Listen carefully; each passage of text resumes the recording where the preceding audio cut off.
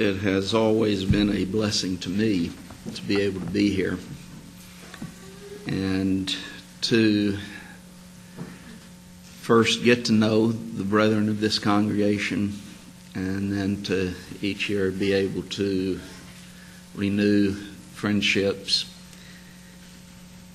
It's always a an encouragement to be with the good elders of this congregation. Appreciate them a great deal. Their stand for the truth. Appreciate Brother David and Sister Jody, and they each year uh, put me up and they take care of me. So it is greatly appreciated. We have a long friendship, and that is a very dear friendship to me. Prior to the creation, God made a plan to save sinful mankind. And that plan included the sending of his son to die upon the cross for sinful mankind. In that death, Jesus purchased the church, Acts 20 and verse 28. In being raised from the dead, he would then appear to his apostles and he would tell them in Matthew 28 and verse 18 that all power has been given unto me, or all authority hath been given unto me in heaven and in earth. He is thus the head of the church. Ephesians 1 22 and 23, Colossians 1 verse 18. He is the only head of the church. He does not share that headship with anyone else. He doesn't give it to anyone else in spite of what millions of people across the world think in relationship to a false teacher who calls himself the Pope. As the head of the church, he is the one who has the right to give orders to make decisions and to enforce obedience. That's the definition of authority. He is that one who is in control. He has established his laws and he reveals those laws to man in the scriptures and for us today in the New Testament. But in purchasing the church, there is a certain organization within the church. And we're not going to spend time except to mention that the church is used in thus a universal sense, Matthew 20, uh, 16 and verse 18. And it's used in a local sense, both from a geographical region or area, Galatians 1 and verse 2 but then it's also used in relationship to specific congregations, Revelation 1 and verse 4, and other passages. We see within that local congregational sense of the church the organization within that church in Philippians 1 and verse 1. When Paul, introducing the letter, addresses it to the church at Philippi, or they that are at Philippi, with the bishops and deacons, but he says it's addressed to all the saints. And so we see here's the saints, and that would be a wonderful study all on its own as to what a saint is.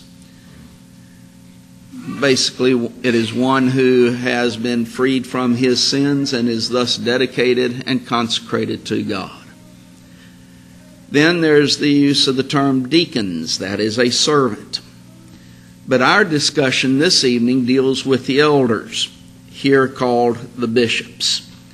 They are, though, also called elders, pastors, shepherds, overseers.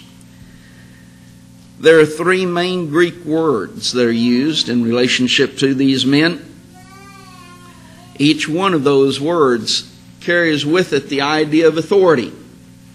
Presbyteros as an elder or presbyter a shepherd or pastor, that is the Greek word poimen, and then episkopos, which is translated bishop or overseer. But though that shows that these men do have authority. As Paul calls the elders of Ephesus to Miletus to discuss with them, as he's discussing with them, he says to take heed unto yourselves and all the flock over the which the Holy Ghost hath made you overseers, to feed the church of God which he hath purchased with his own blood. There's these words that are used, and we see within these the aspect of authority. They are referred to as elders in verse 17. But these elders oversee the church. This is that word episkopos, and I think it's interesting what Roy Deaver says about this word and the lexical definition. He says that one, that there are things to be done by others. Two, these things to be done by others are to be done rightly. Three, an overseer is obligated to see to it that these things are done these things done by others are done rightly. Four, an overseer has the duty of seeing that the things done by others are done rightly. Thus, we start seeing the aspect of authority within those who are elders. Then Paul tells them they are to feed the church. This is the verbal form of that Greek word poimen that again deals with shepherding, uh, pastoring, and again you have an aspect of authority within that word. And he tells them that they are to watch. Uh, that is, as he goes on in verse 29 uh, and 30, that they are to watch because there's going to be false teachers among them, even men from their own selves that would arise speaking perverse things to draw away disciples after them. Well, the aspect of watch, again, carries an idea of authority that they are to give strict attention to something, to be cautious, to take heed. And it deals with one who has the responsibility of watching and warning. But in order to do that, he has to have the authority to do it. He has to have the authority to watch. He has to have the authority to warn. Within the very qualifications of elders itself, we have the aspect of authority. When they are to be able to rule their own house well,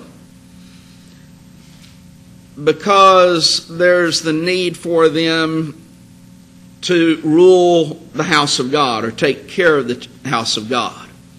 And if they don't know how to rule their own house, then there's no way that they can properly take care of the church. then there's the aspect of ruling in 1 Thessalonians 5 in verse 12. When Paul says, We beseech you, brethren, to know them which are which labor among you and are over you in the Lord and admonish you. The word translated over is the same word that's translated ruler, ruleth in 1 Timothy 3. And so here's, they are to, uh, the members are to know those individuals who are over them or ruling them and to admonish them. In 1 Peter, the fifth chapter, verses 1 through 4, again, there's the terms that are seen in that aspect of authority when he tells them to feed the flock of God which is among you, taking the oversight thereof. And so there's that feeding the flock. That again is that verbal form of shepherding of poimen. Taking the oversight is again a verbal form of that word episkopos. Oversights, overseeing. Now, Peter does warn them don't be dictators of the flock, but being a dictator would be an abuse of the authority that they have. The abuse of something, in reality, proves the right of them to have it. You cannot abuse something that you don't have. And thus, they have authority. In Hebrews 13 and verse 17, Paul would say to obey them that have the rule over you and submit yourselves for they watch for your souls as they that must give account, that they may do it with joy and not with grief, for that is unprofitable to you. Again, elders are to rule. And again, the idea of rulership here carries with it authority. It is a word which elsewhere is used of governors, as Joseph and Pilate would have had authority over their citizens as governors, so elders have authority over the members. And members are to obey them. That means that they yield to their decisions. And we'll get into that in a minute. But again, it clearly indicates the authority that elders possess if members are to obey them. And he also says that members are to submit to them. That's yielding to the authority that they possess. So again, the authority of elders. But then we also need to ask the question what kind of authority these men have that are elders. As we noted at the beginning of the lesson, Matthew 28th chapter and verse 18, Jesus says that all authority hath been given unto me in heaven and in earth, or all power, the King James has. Some will go to this verse and say, well, see, Jesus has all authority, Therefore, elders cannot have authority. But Jesus has the right to delegate authority. In fact, the same word that is translated authority or power in the King James in Matthew 28 18 is used for the authority of the apostles in 2 Corinthians 10 and verse 8. And so, if the apostles had that same authority that Jesus had, the same type of authority, then others could as well. Jesus had delegated authority to the elder, uh, to the apostles. There's authority within the home in relationship to the parents and the children. The husband being the head of the wife. So there's authority within the home. There's authority within the government. There are other types of authority that are delegated by God. Well, again, the uh, idea of authority is the power or the right to give commands, to enforce obedience, to take action, or to make final decisions. As head of the church, Jesus possesses original authority. He is the only one who has the right to make laws for the church. No one else has that right, in spite of those who would teach that the church somehow has it and misuse many times Matthew 20, uh, Matthew 16 and verse 18 and 19 that Peter was given authority, and that authority is passed then on to other popes, and they have the right, when they speak ex cathedra or give a papal bull, to make rules. They have that supposed authority, but they don't. Jesus is the only one that has that original authority to make laws. And those laws are set forth for us within the pages of the New Testament. Elders, as they do their work of oversight, they do not have original authority.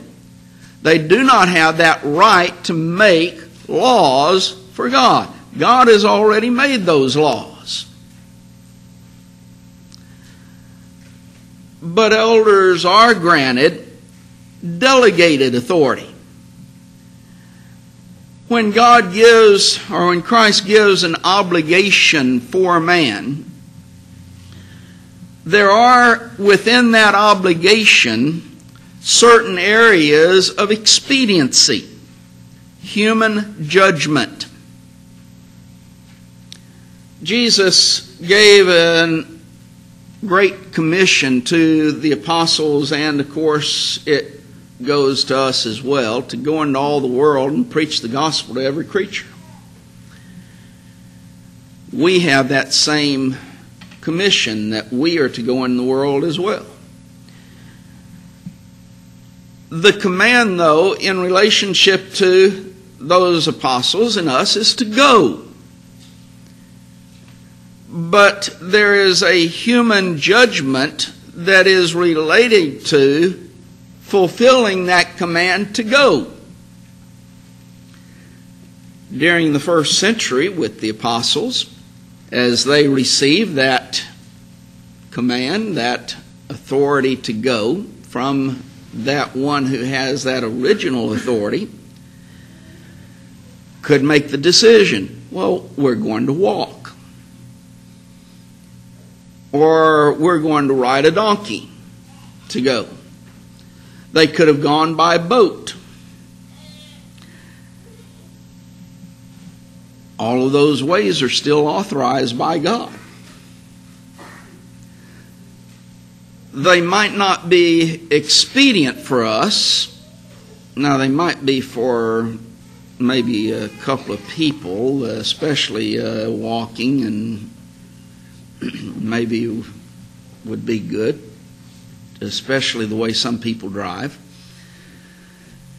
But uh, those things might not be expedient for us. But the command to go involves any way in which we can accomplish that going. And so we today can decide to get an automobile and drive to that location that or go in that manner. Or as I did on Wednesday, I went to the airport, I got onto a plane, and I flew here. Those ways are authorized. A few years ago, it was very popular to take the trains. All of those ways are authorized. It becomes a decision as to which way is the best way to accomplish the command. How are we best going to go? And today, riding a donkey or walking might not be the most expedient way. When it comes to a local congregation and decisions that affect a congregation, it is the elders of the congregation who possess that authority of making decisions in those matters of expediency in carrying out the commands that God has given unto us. Again, with those commands, there's that area of expediency. Who's going to make the decision? Some have come along, of course, and said, well, elders can't really make that decision. We'll talk a little bit more about that in a minute. But some want to make it a, well, let's just vote on it. Have a, everybody vote. Or some would just rather it be chaos and nobody make any decision and just everyone do what they want to. Uh, but elders are the ones who have been given that authority to make decisions. Now, let's make an application of it.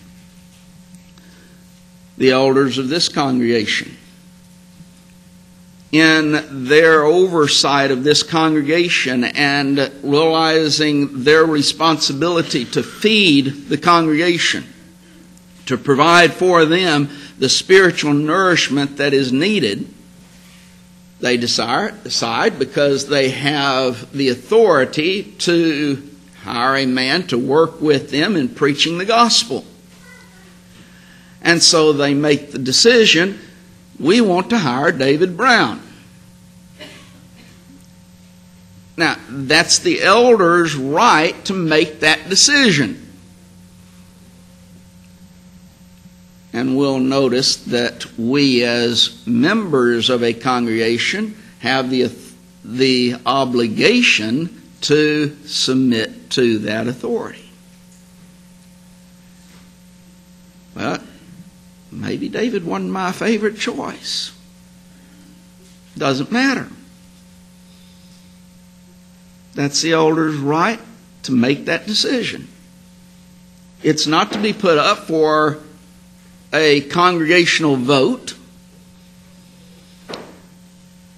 It's not to simply, well, whoever wants to do it can do it.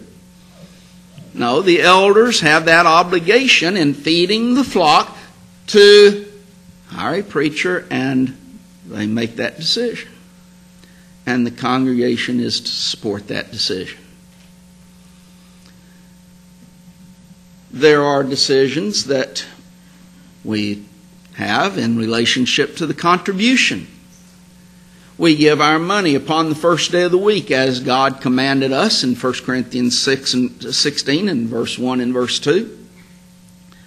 We are to give as we have been prospered. Well, what about the use of that money? Well, God has certainly set forth an area in which the elders are to use that money in relationship to the work of the church.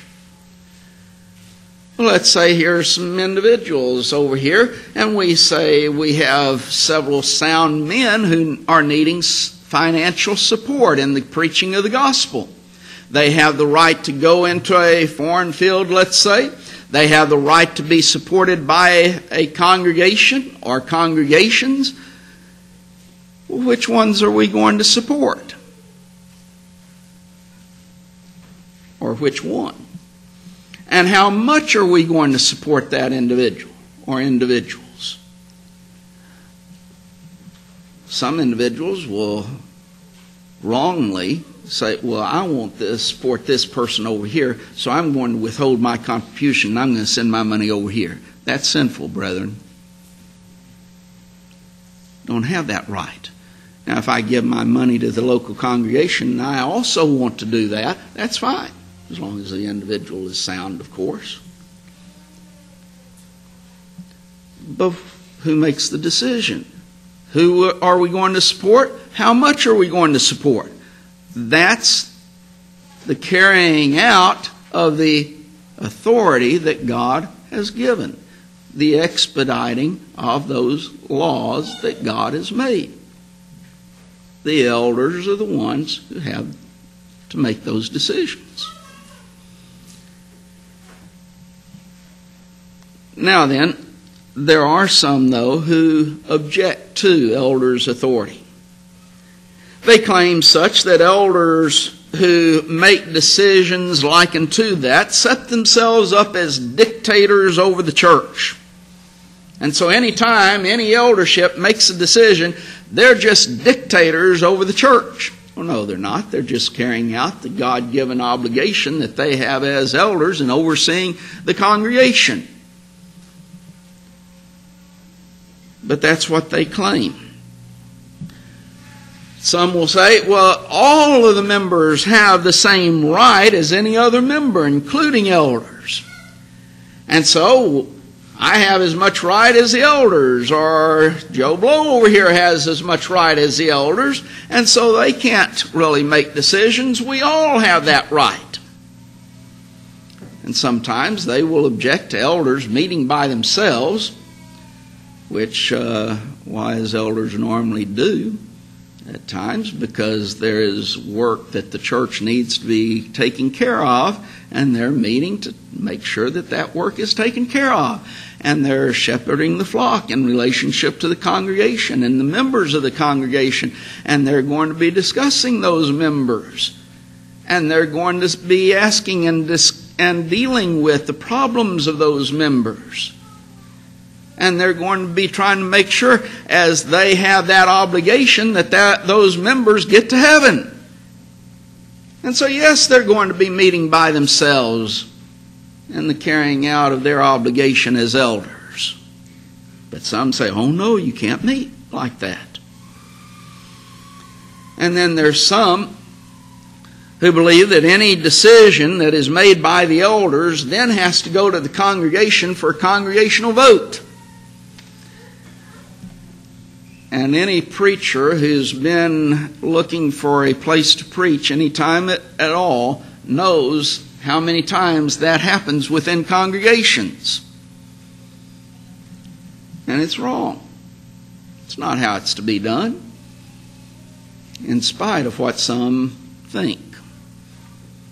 It's the elders who have that obligation, that decision making process, and they are not ones who then run it through the membership to get the approval of the membership. Again, as one looks at this idea of authority in Matthew 28 and verse 18, Jesus, all authority.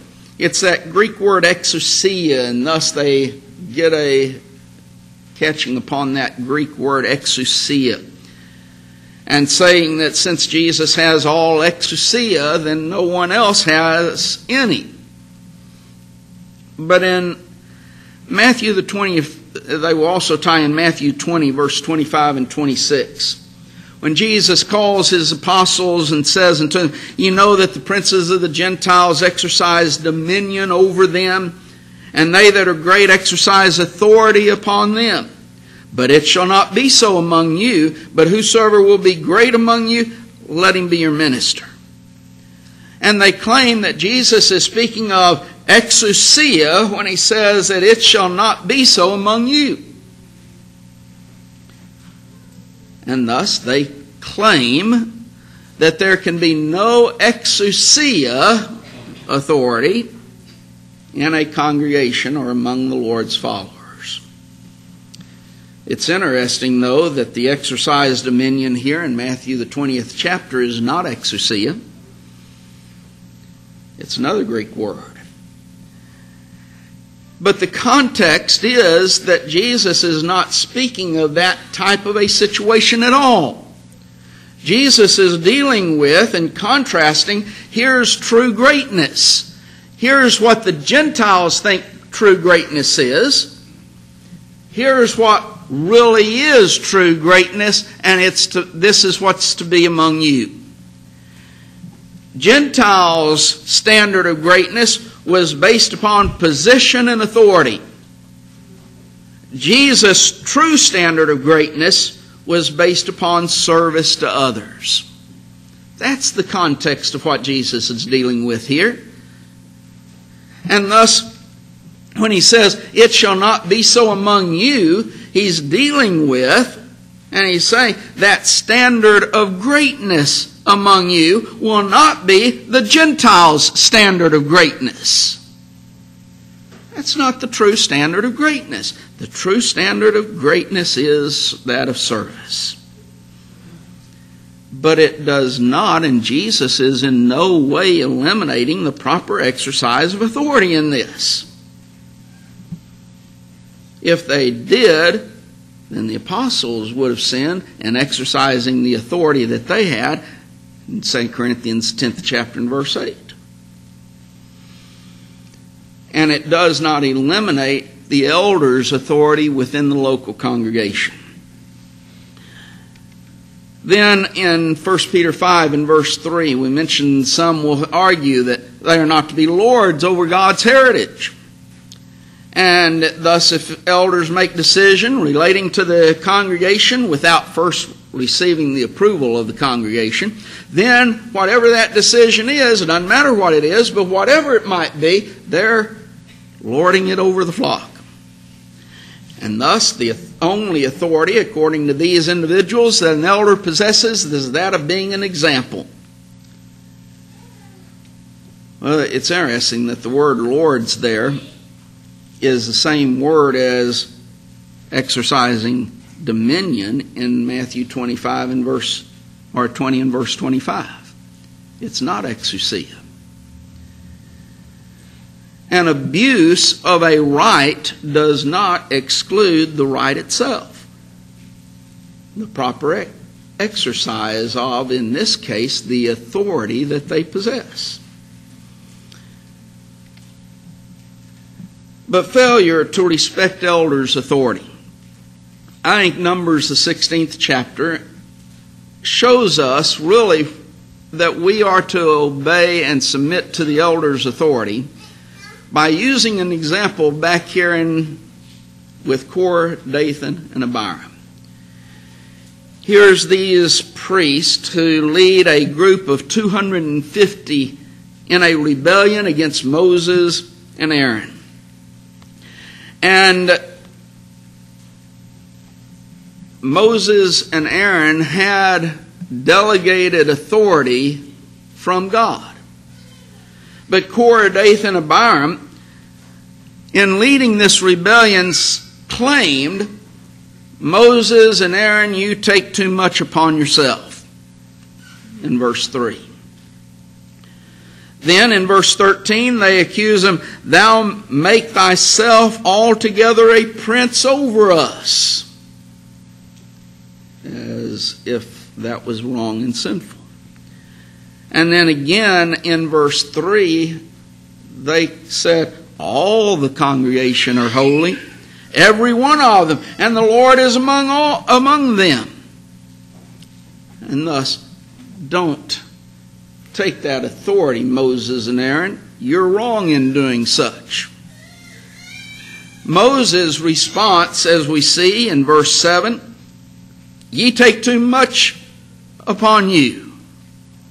In verse 11, you gathered together against the Lord. It wasn't simply a rebellion against Moses and Aaron. Moses said, in this rebellion, you are rebelling against God.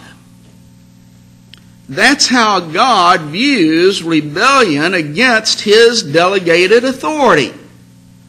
It doesn't matter if it was Moses in this situation or if it's the elders today. When you rebel against God's delegated authority, you're, de- you're rebelling against God Himself.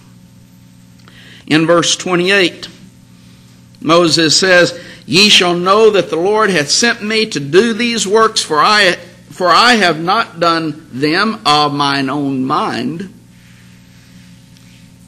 They were fulfilling what God had authorized them to do. And then he says, They shall understand that these men have provoked the Lord, verse 30 we see God's attitude in that the ground opened up and buried these rebels alive. And then fire goes out from the Lord and consumes the 250 men who had joined with the rebels in verses 32 through verse 35. That's God's response to these rebels.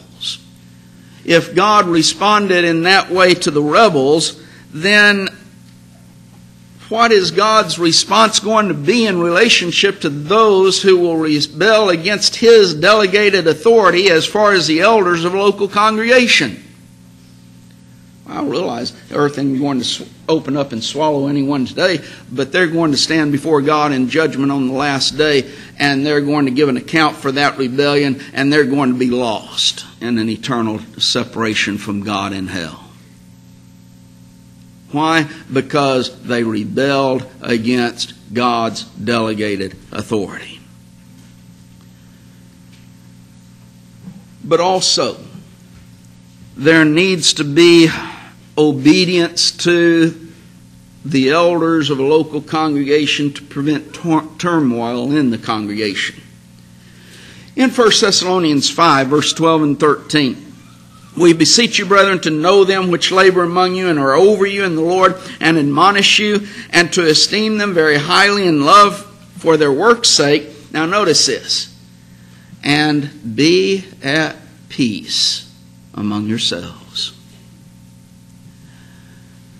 When people rebel against the elders of a local congregation, there's going to be turmoil. There's going to be troubles within the congregation. The way to have peace within a congregation is to recognize the authority of elders and to submit ourselves to that authority of elders. That, of course, is as they faithfully carry out God's will.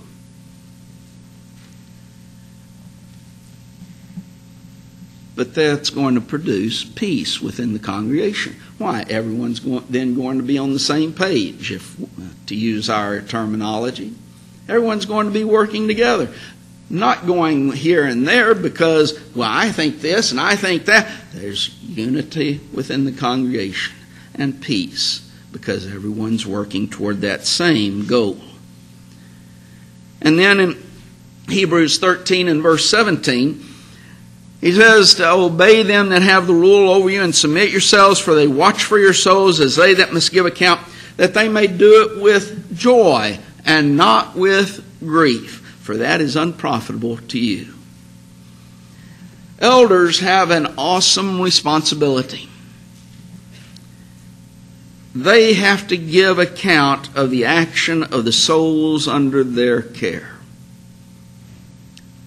That means when you are part of this congregation, the elders of this congregation are going to give an account whether you're saved or not. Their soul is in, your soul is in their hands. God's going to hold them accountable. And thus, they have a responsibility to get you to heaven in fulfilling that responsibility, they make decisions for the congregation.